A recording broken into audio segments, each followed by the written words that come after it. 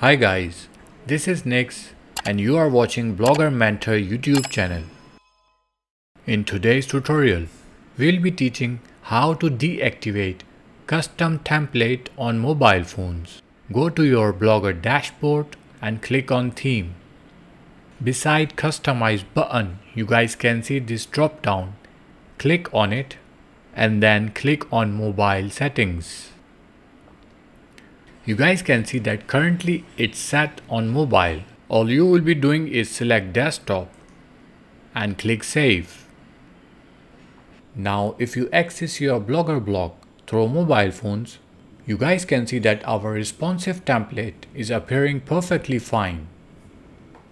If you like this video, hit the like button. For more blogging tutorials, don't forget to subscribe our YouTube channel.